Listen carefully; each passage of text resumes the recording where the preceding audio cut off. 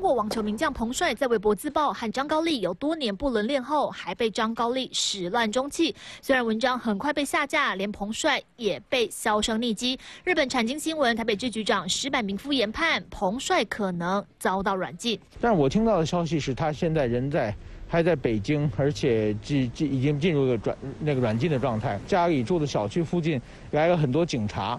呃，所以说这个他人他人在北京被控制起来的消息，我认为是比较确实的。彭帅突然人间蒸发，原本网传是逃到美国，但是百名夫根据掌握讯息，他更可能在中国被软禁了。更抖出事件内幕，彭帅选择鱼死网破的爆料法，是因为已经身怀六甲。彭帅怀孕想找张高丽给小孩子要一个名分，然后张高丽让他把孩子拿掉，双方发生了矛盾，张高丽拒绝见面。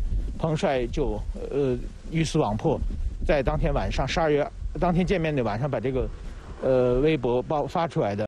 彭帅怀孕的今天消息，虽然因为他被消失，无从查证本人，然而当初爆料文章上微博却躲过层层 AI 审查，存活了二十分钟才被下架。中共中央党校前教授蔡霞认为，和中共内斗有关联。